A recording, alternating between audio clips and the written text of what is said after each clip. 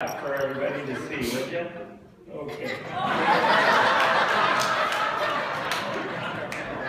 All right. Now, Lukey, my, my first question is this. Did you have any help in picking this out? No. You just decided that all on your own, right? All right. What, Lukey, what, what is that? Toilet paper. Yes, that's the problem. It is toilet paper. Well, can I look at it, Yeah. Now, what is toilet paper made of? Paper, but it's a special kind of paper, isn't it?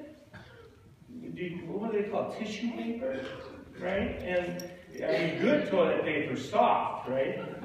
Yeah, right, yeah. And so, tissue paper. When I think about tissue paper, of course we think of the toilet, but we could also think of, if we ran out of Kleenex in our house, how many would use a little of this tissue to do other things than in the bathroom? What, what do you use it for? To blow your nose, all right? Because you're sick, right? Somebody else? What, what, any other use for this? Do any of you cry ever at all? Do you? Do you cry? When do you cry?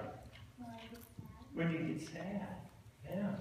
So I effectively dodged the, uh, the first one.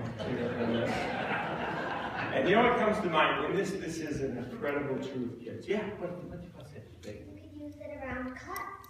You could use it around cuts. Of course, yeah, to stop bleeding, or whatever. So when you think about that, cuts and wounds and sickness and being sad and crying, there's a lot of times when we're, we're so sad or so sick uh, or we've been hurt that, that somebody needs to come and take care of us and they wipe the wound or they wipe away our tears or they'll even help us blow our nose.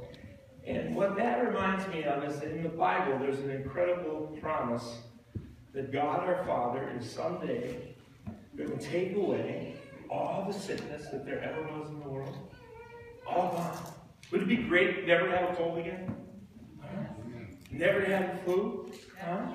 Wouldn't it be great to, to never have to blow your nose, to, to never have any wounds or cuts, and then finally to never be sad? Right?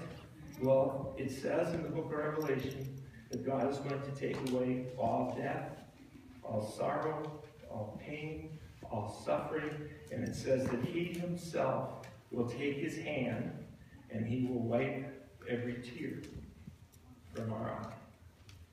Because He's absorbed it all as He sent Jesus on the cross to die for us. Isn't that a wonderful thing, kids?